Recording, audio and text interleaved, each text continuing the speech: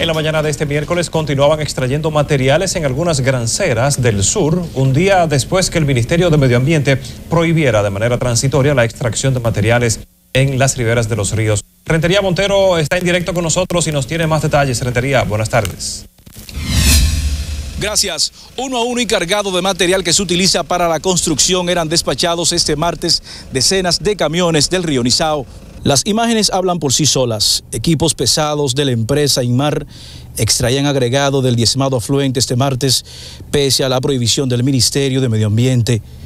Los capataz de la empresa grancera que opera en la zona dijeron que hasta el momento Medio Ambiente no le ha notificado la suspensión que dispuso de la extracción de agregados. Sí, oí que dijo el señor que por la noticia escuchó un rumor, pero aquí no ha bajado ni ha venido nadie.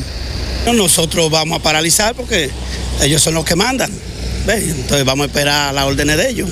No fue hasta próximo a las 11 de la mañana cuando un equipo del Servicio Nacional de Protección Ambiental notificó a las empresas Inmar y Asinesa de la suspensión provisional. Tienen que parar inmediatamente la extracción de materiales del proceso de canalización que están realizando.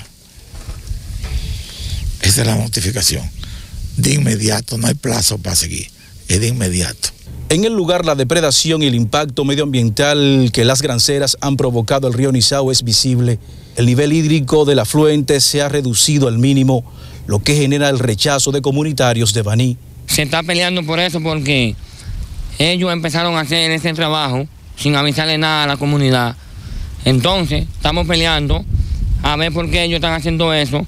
La disposición del Ministerio de Medio Ambiente prohíbe la extracción de materiales de los ríos hasta tanto se mantenga la sequía que afecta el país por varios meses. Gracias. Retorno al estudio.